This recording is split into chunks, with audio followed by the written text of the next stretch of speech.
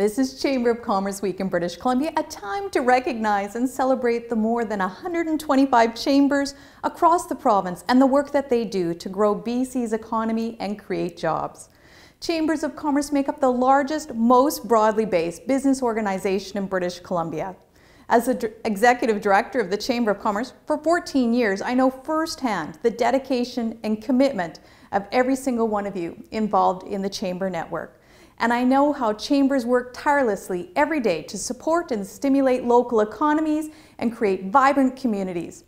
This year's theme, Empowering BC's Businesses, celebrate the leadership role that chambers play in their local communities, where they build links as business advocates and support business and economic development.